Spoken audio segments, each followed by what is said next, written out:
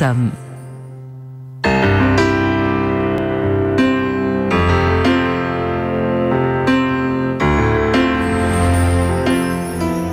أعزائي المستمعين السلام عليكم ورحمة الله وبركاته. نجدد لكم التحية من خلال برنامجكم بلسم على أثير نور دبي.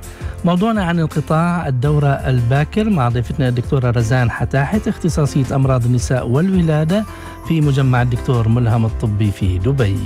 طرق التواصل على الهاتف 600 551 414 والرسائل النصية القصيرة على 4006 ونرحب أيضا بمتابعينا عبر الحساب الرسمي لإذاعة نور دبي على الإنستغرام لايف نور دبي راديو. دكتورة غزان السلام عليكم. وعليكم السلام. موضوع انقطاع الدورة مثل ما بنعرف طبعا الدورة تتوقف في الأربعينات طبعا أواخر الأربعينات بداية الأربعينات دكتورة في الخمسة وأربعين تختلف طبعا من سيدة إلى أخرى. البعض قد تستمر معهم أيضا عدة سنوات لكن البعض منهن تتوقف الدورة لديهن في سن باكرة. ما الأسباب دكتورة؟ آه، مثل ما ذكرت حضرتك إنه آه، انقطاع الدورة عادة بيكون بأواخر الأربعينات. العمر المتوقع هو 51 أكثر أو أقل شوي. نعم. ب ب يعني عن معظم السيدات. في بعض السيدات بتكون يحصل عندها هذا الشيء مبكر. نحن بهمنا هذا الشيء إذا حصل بعمر أقل من 40 طبعا وظيفة المبيض ما هي فقط للإنجاب ولأنه هذا جزء هام كبير من عمله. كمان المبيض له وظائف أخرى. هرمونية آه، تؤثر على الجسم كاملا سلبا أو ايجابا بتأثر على الجهاز العصبي ممكن تأثر على على العظام وعلى المفاصل وعلى العضلات ممكن تأثر على القلب والأوعية الدموية ممكن تأثر على الجلد. آه هذه التأثيرات ال ال يعني آه تكون عادة آه بعد انقطاع الدورة الشهرية بشكل ما بنقدر نقول عليه سلبي لكن لو يحصل في سن متقدم هذا بيكون متطور مع مع طبيعة الجسم مع مع تغييرات الحياة المتوقعة. بس لو حصل بوقت كثير بكير يعني مثلا أقل من 40 في سيدات ممكن يحصل عندها هذا الشيء بال20 أو أكثر. فبيكون له آه، الآثار بتكون أصعب قبولها على على السيدة من إنه لو كان مثل ما بيصير معتاده. نعم.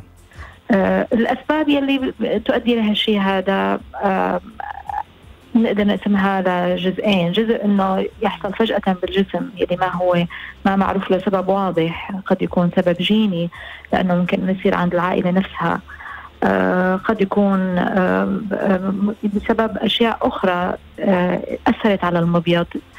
يعني ثانوي لاشياء أخرى منها أنه مثلا لو السيدة لا سمح الله تعرضت لأشعة في منطقة الحوض بسبب علاج أشياء مثل الأورام أو ما شابه آه، أو تعالجت لعلاج كيماوي للقضاء على آه، أمراض أخرى يأثر سلبا على عمل المبايض ممكن إنها تكون آه، جزء من كيف بدنا نقول عليها مرض عام إنه نعم. الجسم يكون اضداد لبعض الأجزاء الحيوية منه مثل البنكرياس مثلا يؤدي للسكري أو الغدة الدرقية يؤدي لقصور فيها ونفس الوقت يكون نعمل أضداد لعمل المبايض تؤدي لقصور ولضعف في عمله بعمر مبكر جدا. نعم. طيب في سؤال استفسار هل الحبوب التي تستخدم لمنع الحمل أو لتنظيم الدورة الشهرية لها دور في توقف الدورة الباكر انقطاع الطمس الباكر؟ بشكل لا مو معروف للحبوب الدورة نعم. الشهرية أنها تؤدي لانقطاع الدورة بشكل مبكر. طيب أيضا استفسار آخر. هناك يعني آه، سيدات والدورة تتوقف لديهن ومن ثم تعود مرة ثانية أو تكون مضطربة يعني آه، في الأربعينات نعم. آه، الدورة عادة انقطاع الدورة حتى لو كانت مبكرة ما بيتم مفاجئ نعم. بمعظم الأحوال بياخذ وقت لحد تسبقه يعني بيكون على عدة مراحل، المرحلة الأولى إنه بيكون المبيض مخزونة من البويضات بيصير ضعيف فبصير التبويض أضعف من المعتاد، بصير فرصة الحمل أقل من المعتاد، بس ما بتكون لسه في علامات أخرى تظهر على السيدة، بعدها بصير تبتدي علامات أخرى اللي هي منها اضطرابات الدورة الشهرية، تباعدها أو أو ندرتها مثل ما بنقدر نقول. وبعد منها بصير الانقطاع الكامل. هلأ في حتى مع مع إنه المبيض بيكون يعني بيصير في ضعف فيه آه، معروف طبيا إنه ممكن يحصل في رجوع عن الحالة اللي هو فيها لفترات معينة إنه يرجع يستعيد وظيفته ورجع يصير كسول مرة أخرى. فيعني ممكن هذا الشيء يحصل. نعم. طيب نذكر بطرق التواصل على الهاتف 600 551 أربعة والرسائل النصية القصيرة على 4006 ونرحب أيضا بمتابعينا عبر الحساب الرسمي لإذاعة نور دبي على الإنستغرام لايف نور دبي راديو. موضوعنا عن انقطاع الدورة الباكر مع ضيفتنا الدكتورة رزان حتاحت اختصاصية أمراض النساء والولادة في مجمع الدكتور ملهم الطبي في دبي طيب دكتورة يعني إذا كانت السيدة لديها مثل هذه المشكلة ما هي الاستقصاءات التي تقومون بها لمعرفة السبب؟ آه، اولا من أخذ التاريخ المرضي نشوف إذا كانت آه، آه، المشكلة عندها فقط ولا عندها أشياء أخرى مترافقة معها توحي بأنه عندها كمان قصور مثلا بعمل الدرق أو بعمل البنكرياس أو ما شابه يعني نحاول إنه نشوف شو هو السبب. الشيء الثاني إنه بيتم الفحص السريري اللي بالعيادة. الدكتورة بتلاحظ هل يترافق هالشيء مع أمور أخرى مثل زيادة الشعر أو زيادة الوزن أو حب الشباب أو ما شابه. أه أو إذا كانت مثلا في علامات توحي بأنه الغدة الكظريه مثلا لا تعمل بشكل كويس. وبعدها بنلجأ للفحوصات بحسب الموجودات اللي موجودة عندنا ممكن الفحوصات تكون سونار مثلا أو تحاليل هرمونية لل للعمل المبايض ذاتها أو للأجزاء الأخرى اللي تعتقد الطبيبه إنها متأثرة آه، أو حتى الجينات فحص إذا كان ما لقينا أي سبب يوحي بأنه الأمر غدي مثلا إنه بنكون شغلة آه، موروثة معها إنه ممكن يلجأ لفحص الجينات كمان لكشف السبب. طيب ناخذ هذا الاتصال ألو السلام عليكم. السلام عليكم. عليك السلام يا مرحبا. زايد معك. أهلا وسهلا. يا مرحبا. دكتورة رزان معك ممكن آه، أسأل الدكتورة رزان آه، معك تفضلي. عندي سؤالين لو سمحت. نعم. تفضلي. نعم تفضلي. دكتورة أنا صار انقطاع عندي بالدورة بس يعني تيني مثلا أربع شهور بعدين تنقطع خمسة شهور وتيني مرة ثانية. حاليا أنا عمري تقريبا 45 سنة. نعم. وعندي سكر. نعم هل له سبب ولا بس الأمر؟ طيب السؤال الثاني السكر حتما السكر حتما ناخذ السؤال الثاني وبنجاوب نعم. أم زايد تفضلي أه، لو بقيت أه، الحمل هل يستوي ولا لا مع انقطاع الدورة؟ كم ولد عندك؟ وشكرا هذا السؤال. كم كم ولد عندك؟ عندي ثلاثة الله يخليهم تسمعي الجواب هلا من دكتورة رزان. شكرا لاتصالك أم زايد طيب دكتورة أول سؤال عن نعم. هي انقطاع ومن ثم وتسأل والعمر 45 وعندها سكري. تمام. هلا العنصرين ممكن يكونوا موجودين. ممكن يكون إنه السبب إنه عمرها 45 لأنه عادة مثل ما ذكرنا إنه انقطاع الدورة الشهرية ما بيكون مفاجئ بيتم على مراحل وقد هالمرحلة تاخذ خمس سنين أو أكثر حتى. نعم. الشيء الثاني السكري كمان قد يكون بحد ذاته هو عم يأثر سلبا عليها فما بنعرف كيف آه، آه، انضباط السكري عندها. آه هذا بالنسبة للشق الأول. يعني الأفضل إنها تشوف كيف السكر عندها مضبوط أو لا. طبيب غدد صماء اذا متابع يعني متابعه عن طبيب الغدد الصماء والسكري لضبط مستوى السكر بالدم طبعا لصحة الجسم بشكل عام وليس فيما يتعلق فقط في ناحية المبيض أو الدورة. تمام. وبالنسبة للحمل. نعم. هذا بيرتبط بإذا كان إذا كان السكري تبعها ما مضبوط يعني ما ننصح أي سيدة إنها تدخل بتجربة حمل بوقت تكون تعاني من مشاكل صحية مهما كانت نعم. قد تؤثر سلبا على هالحمل هذا طيب لكن لو كان السكر يعني مضبوط أو تحت مضبوط. السيطرة نعم وهي ترغب يعني وهي ترغب, وهي ترغب نعم, نعم. آه فساعتها الطبيبة تبعها بتلجأ لبعض التحاليل آه تخبرها كم المخزون تقريبا اللي عندها في المبايض نعم. هل فرصتها للحمل آه كويسة نعم. أو الفرصة ضعيفة وبناء عليه بيتم نعم. مثلا تنشيط المبايض أو تنصح بعدم ذلك. طيب رسالة أيضا عبر الإنستغرام هل يقل الإخصاب إخصاب المرأة بعد الأربعين؟ نعم يقل إخصاب المرأة بعد الأربعين. وبعد لأنه مخزونها من البويضات بتصير نعم. يعني حتى يعني من بعد ال 35 و 37 نعم. بيبتدي نعم بيبتدي يقل فبعد ال 40 حتما بي هذا مو معناه إنه ما في حدا بيحمل بعد ال 40 لا بس لو أخذنا عينه عشوائية من السيدات يعني نسبة الخصوبة عند اللي عمرها مثلا 20 25 حتما الطفل أفضل بكثير من نعم, نعم. وأيضا نسبة الخطورة طبعا نقول نسبة الخطورة بعد ال 35 أو اعتبارا من سن ال 35 أيضا تزداد بالنسبة للولادة دكتورة رزان. طبعا نتكلم بشكل آه. عام نحن.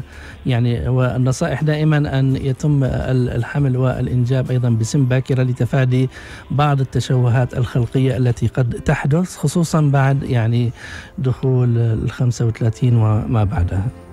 نعم هو يعني بعد بعد العمر 35 و 37 بتصير الفرصة أكثر لأنه تكون سيدة عرضة لأنه يصير معها سكري أو يصير معها ضغط دم مرتفع أو أمراض أخرى.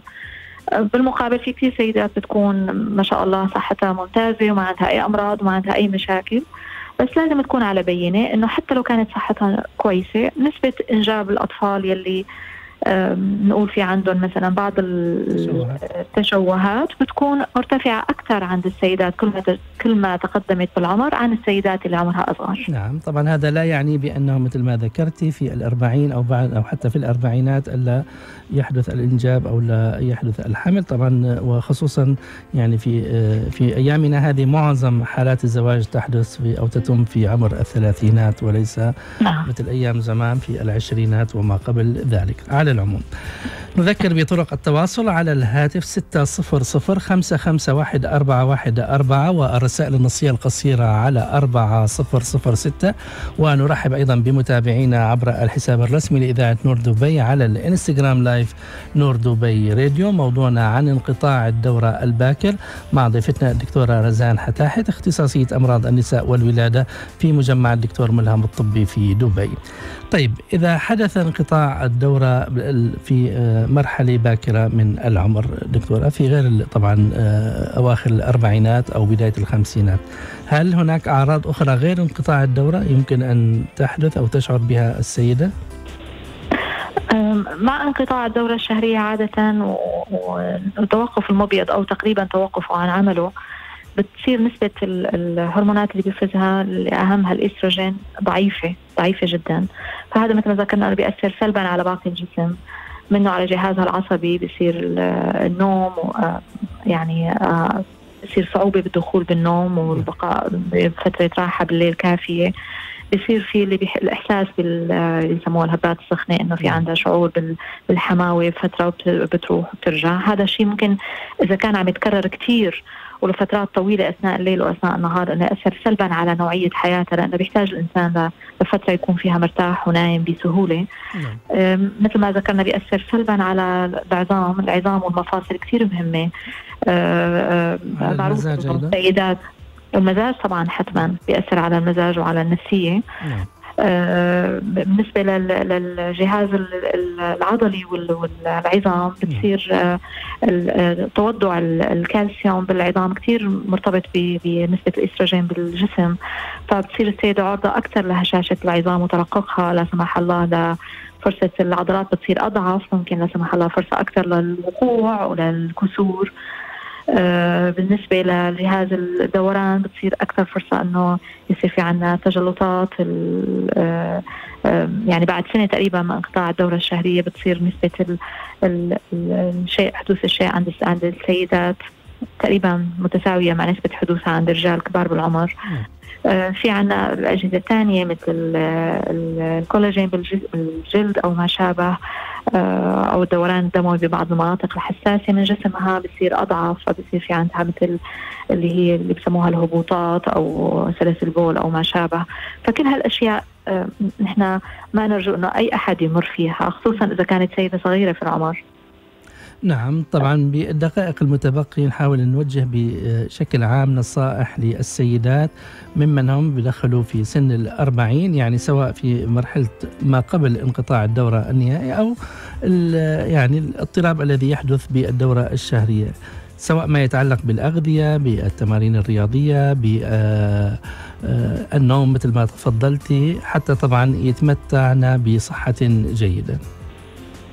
نعم بالنسبة لنمط الحياة طبعا ننصح الجميع أنه يكون يحاول يعيش نمط حياة صحي قدر الاستطاعة بالمحافظة على وزن معقول بممارسة الرياضة بشكل متواتر. يعني يستحسن أنه مثلا السيدات اللي عندها حتى لو كانت بعد الأربعين عندها انقطاع دورة شهرية أنه تعمل آه، رياضة خفيفة مثل المشي ومثل الأوزان البسيطة 30 دقيقة ثلاث مرات بالأسبوع تساعد كثير على على آه، محافظة على عظام وعلى عضلات كويسة. التدخين كثير كثير صاير شائع. طبعا من بيدخل بالتدخين الشيشة.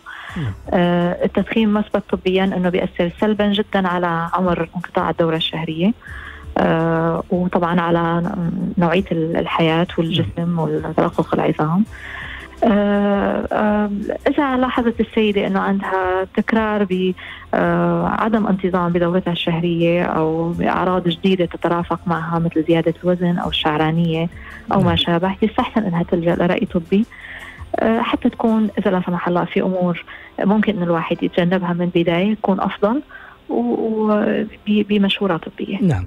طيب أيضا هناك رسالة آه، ماذا عن الدورة غير المنتظمة والعمر 17 آه،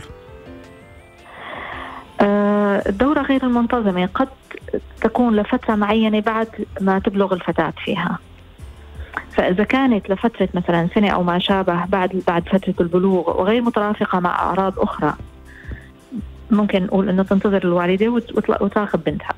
إذا كان هذا الشيء يستمر أكثر من فترة وإذا كان ترافق مع أشياء أخرى مثل ما ذكرنا الشعرانية أو زيادة الوزن قد يوحي بأنه في لا سمح الله تكيسات مبيض أو ما شابه يستحسن عندها إنه آه، مراجعة الطبيب الكشف على على البنت وتقديم النصيحة اللازمة. نعم ونتمنى دائما الصحة والسلامة للجميع والاهتمام بايضا من الناحية الغذائية التمارين الرياضية لأنه حتى زيادة الوزن تؤثر وأيضا يعني تغيرات الوزن تؤثر. آه، هل الرغبة الجنسية تضعف عند المرأة التي تنقطع عندها الدورة؟ آخر رسالة. نعم. الهرمونات كلها تؤثر سلبا بعدم وجودها خصوصا بعمر معين. نعم. نعم.